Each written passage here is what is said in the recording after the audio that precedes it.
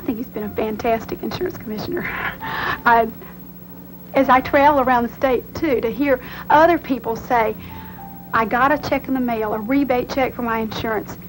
You know, I needed that. I needed to know someone was trying to do something for me, for my pocketbook. Teresa Gunter talks about her husband, Bill. I couldn't make ends meet, and I needed someone to hold down cost because we have to have insurance. I just thank your husband for me. I appreciate him sending the check back to me.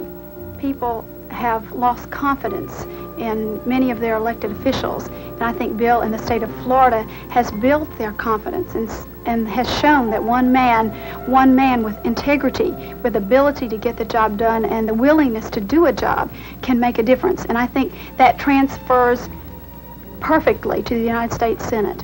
Bill Gunter can make a difference in Washington, D.C., in the United States Senate.